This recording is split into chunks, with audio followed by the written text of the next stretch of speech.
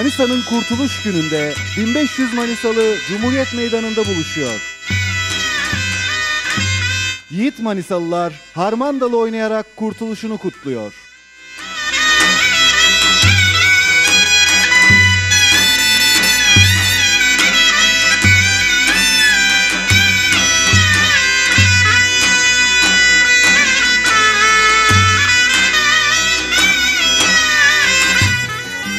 Haydi Manisa.